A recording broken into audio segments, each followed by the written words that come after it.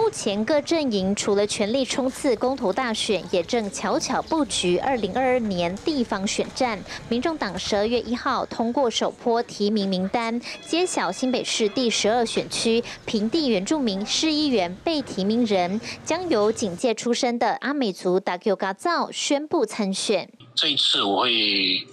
同意民众党的征召，那特别是民众党在这一段时间，他对国内的政策、民生的议题，或者是疫疫苗，或者是公投，其实他是比较偏向全国的的朋友，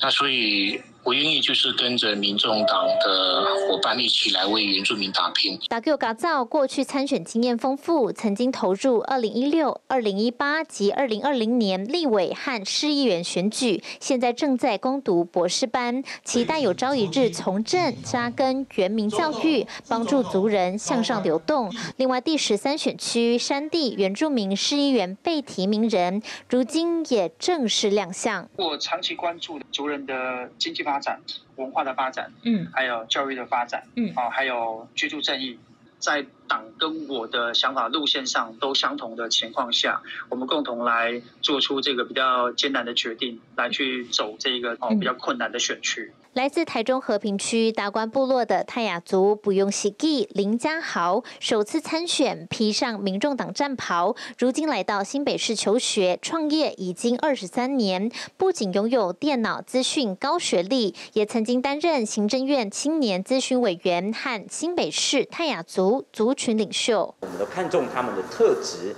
还有他们呃所带来这个能量，所以予以提名。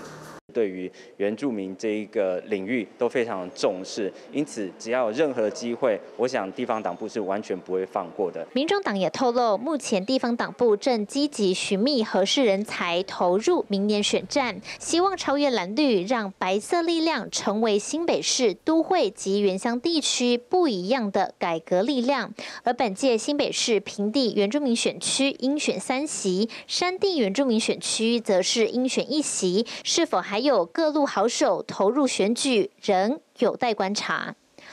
原视新闻就是买乌溜台北市采访报道。